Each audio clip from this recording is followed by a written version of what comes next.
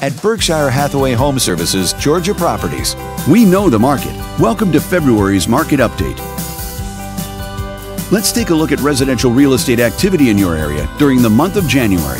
The number of active listings was up 27% from one year earlier and up 7% from the previous month.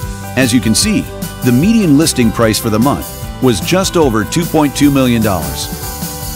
Compared to last year, the average number of days units spent on the market before being sold was up 2%. The median sale price was just over $1 million. The number of units sold was consistent year over year and decreased 41% month over month. Thanks for watching. We hope you use this information to make smart, informed decisions in your upcoming real estate transactions.